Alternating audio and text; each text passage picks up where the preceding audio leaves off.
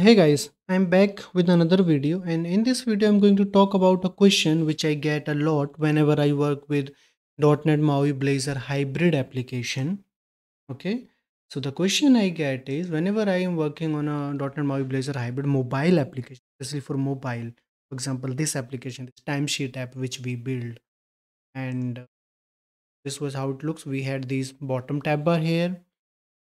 Then I created one more application that if you remember full stack e-commerce application for fruits and vegetables it also had this bottom tab bar. If you see here then online quiz did we have?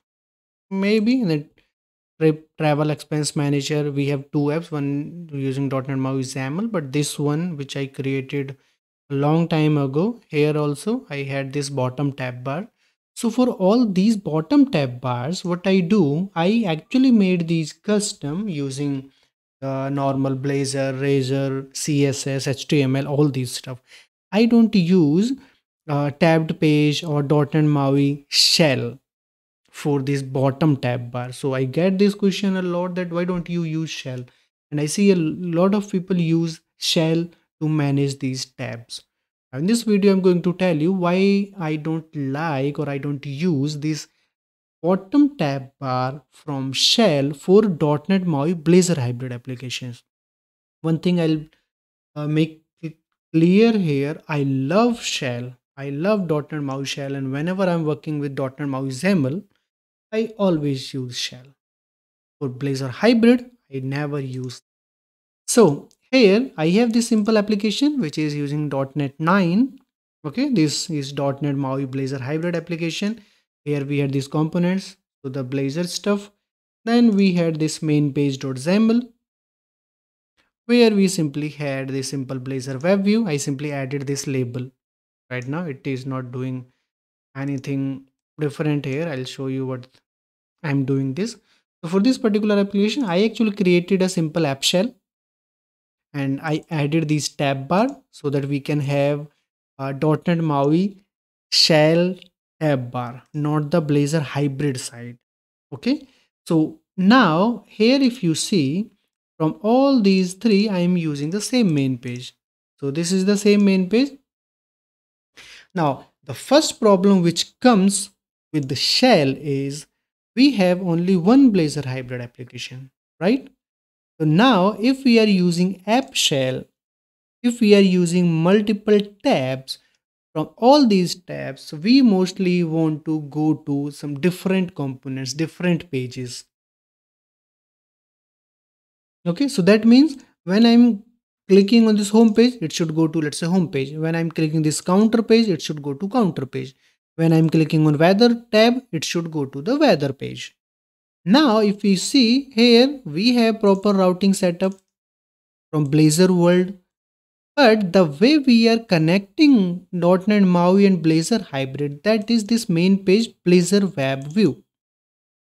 Here if we see, we simply have a host page. That means the initial page which will act as a container for our Blazor hybrid application. This is index.html.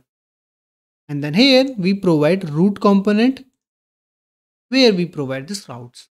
Now one way could be to manage these things, we can maybe move this Blazor web view somehow directly to the app shell and maybe using some direct content template or direct content inside the shell content.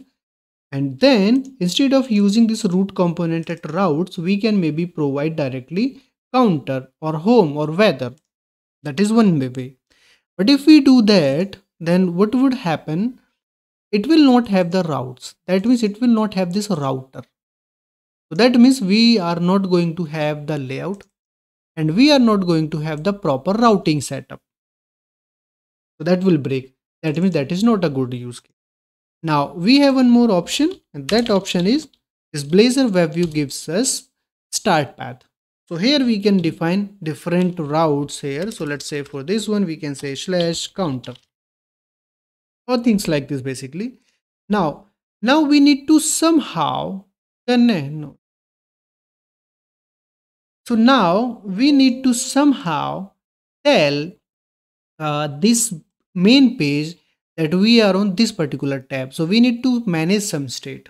Now all these are small things. This is not the major blocker for me. Now I'm going to show you what is the major blocker for me. Why don't I use it?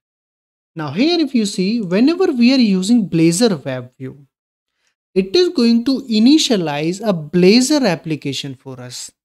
In this case, this Blazor Web View is one application which is hosting the index.html and index.html is this index.html which is actually a container for our entire Blazor application. Now if I have this app shell, eh, I'm using tab bar from the app shell, we have three different shell content. So these can be directly Blazor web view. These can be inside main page and then Blazor web view. Now what would happen when I am on the first page? We will have one instance of our Blazor application, entire Blazor application. Now if I switch the tab, I go to the next tab then it is again going to initialize a brand new Blazor application. And when I am going to click on the third tab, it is going to initialize one more Blazor application. Now, if we have three tabs, now we have three different instances of our entire Blazor application. That means inside our .NET MAUI, now we'll be running three different Blazor applications. Now, one thing is Blazor already if we are doing all this stuff it has its own uh, rendering cycle its own memory its own uh, things to manage the state routing navigation this and that are lots of different things. It will have three different instances to manage all these things which is not a good thing. And then we are going to have one more problem. Let's say we want to uh, manage some state across these tabs because this, this is a very common use case right? We want to have some global state we want to have it on one tab we want to modify or fetch it from some other tab now if we are using scoped dependency now one scope means one blazor application now the scope is going to be broken here because now we are going to have three different scopes Although we can use singleton. So for .NET MAUI application, we mostly use singleton. Singleton is scoped are kind of same. Uh, there is only one difference for XAML C sharp side. This is another, uh, what we say, another scope. And for Blazor, this is another scope. In this particular case, we are going to have four different scopes. One would be for our C sharp and XAML side, .NET MAUI side. And then one scope for each shell content Blazor application. This is the main reason I don't like to use shell tabs for Blazor hybrid application because now we'll be running three different Blazor applications in a single .NET MAUI application, which is not a good approach. So we can easily pull off the simple bottom tab bar. This is very easy to do with simple CSS and simple Blazor C Sharp logic.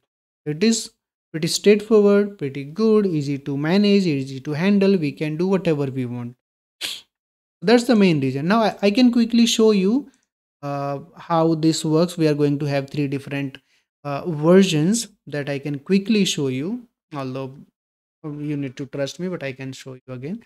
And i'm not going to uh, run it on android or iphone because this is same. This is same everywhere. What is the problem? Did I mess something up? Main page.xaml Blazor web view. Okay, run it. Now here I just have this simple application and I'll quickly show you what I did. So this main page.xaml.cs I have a state class. This is a simple C sharp class which has only one property counter and the initial value is 10. I have registered it as scoped. Okay, now if we go to main page.xaml, we are simply injecting it. We are getting it from the DI and we are directly putting the counter value to the lbl.text which is the simple label which I added on this XAML page. Now after this if we go to the Blazor side on home.razor we don't have on counter.razor if we see here the current count, this is the default which comes with the template and the state count. This is what we are having, so state.counter and I'm having a button. This is already there increment On click of this increment, I am incrementing the states counter variable as okay? And we are injecting this state. All right so this is what i did. So i simply added this on counter. Now we see the application. This is 10 is fine. State counter 11 that means it used 10 and plus 1 because did i click on anything main page.xaml.cs state.counter let's see maybe i clicked it now if i go to counter here also we have state count 11 weather state count 11 home counter. Oh oh oh my bad. I actually added the same counter page here. If you see the start path this is working actually. This is directly going there. So it is opening the counter page directly so this counter page directly. Here it is showing us state.counter which has a default value of 10 and on main page.xaml we are just showing its value. Now state count plus plus in count. Let's try to run it again. Okay i need to check from where this 11 is coming but okay the, the main point is here this is 10 one different scope. This is totally different scope. Now if we go to all these pages you see there was this flicker effect which was initializing a new blazor application. I go here again now we have these applications. Now it these will be fairly quick but now we have three different instances. Now here this is 11 on home page. If i click now it is 12 if i click 13 14 15 now we have this 15 but we have this state as a scoped class and we are modifying this so it should be modified everywhere. But here we see this is 10 only. This is ML side which I already told you this is a totally different scope. But now if I go to counter page here you see is still 11 weather still 11 if I go back to home page it is 15 now if I go to let's say weather page and if I make it let's say 13 now if I go back to counter it is still 11 if I go back to home this is 15 so that means all these are totally different scopes. So managing data or managing state between these three, it can lead us uh, unexpected behavior because most of the time we use scoped uh, registrations. So someone can might easily miss this thing when they are developing application blazor hybrid because we would consider or we would think as a as a developer if i have some basic idea about blazor and if i come here and if i see okay i have this scoped registration which we mostly use and here i would consider i would think that for entire blazor application that means for this entire components folder and everything is inside a single scope. If i'm doing if i'm using some centralized state if i'm modifying from one component I am trying to access it from another component, it will have the actual, the updated value. But this is not the case in this particular case. The reason being, again, we have three different instances of Blazor application. That means three different Blazor applications are running inside one .NET MAUI application.